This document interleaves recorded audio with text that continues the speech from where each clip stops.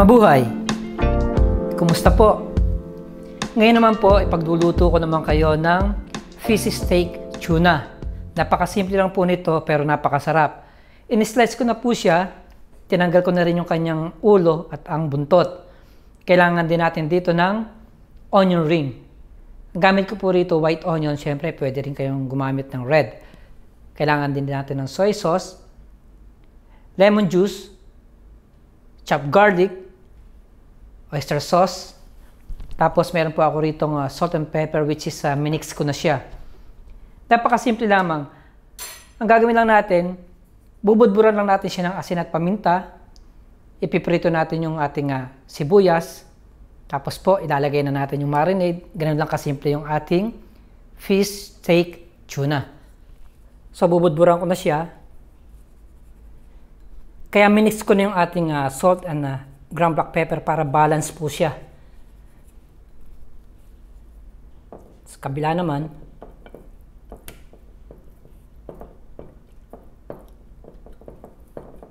At pagkatapos po nito, ipiprito lang natin siya siguro ng mga 2 to 3 minutes. Dahil lulutuin pa natin siya sa kanyang marinade. Okay, mag-start na po tayo. Nagpapainit na po ako ng aking lutuan. Siyempre, maglalagay tayo ng konting mantika. Konti lamang. Ipapan fry pa po kasi natin yung ating onion ring.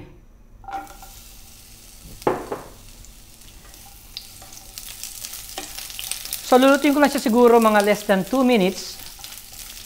Pagkatapos po, set aside natin siya at mag-i-start na po tayong magprito ng ating tuna.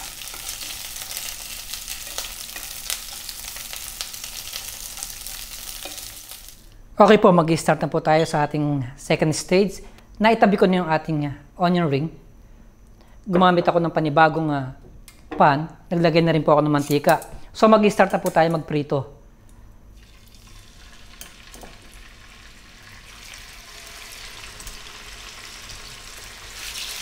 Kagaya po ng sinabi ko kanina, hindi natin siya i-over fry. Gawa ng lulutuin pa natin siya sa ating marinade.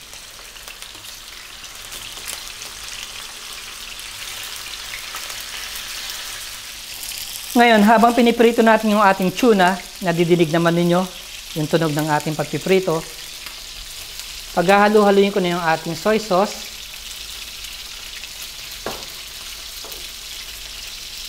lemon juice,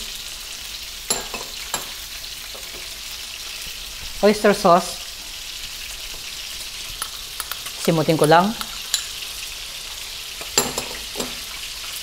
ang chopped garlic.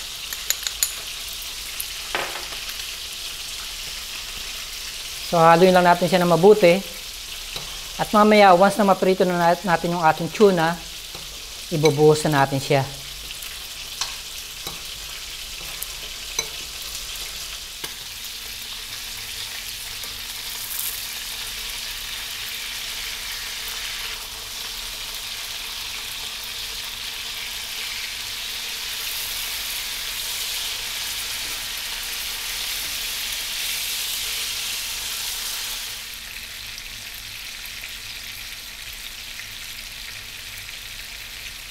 So ayan po, okay na po yung ating isda.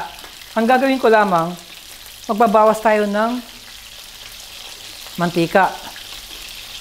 Dahil masyado po siyang marami.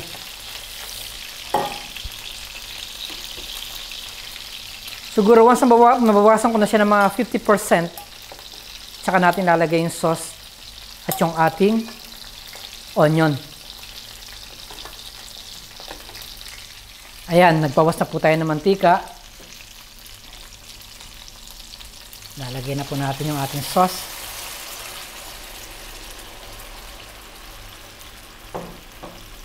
Lulutuin ko lang siya ng mga 3 to 4 minutes. Kailangan po nasa medium heat lang kayo. Hayaan natin maluto yung ating garlic na maigi. At pagkatapos po noon, ilalagay na po natin yung ating onion ring na panghuli.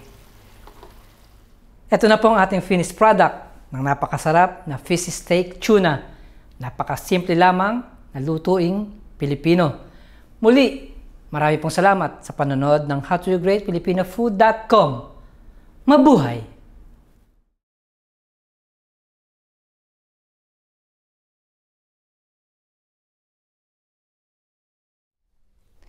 Mabuhay!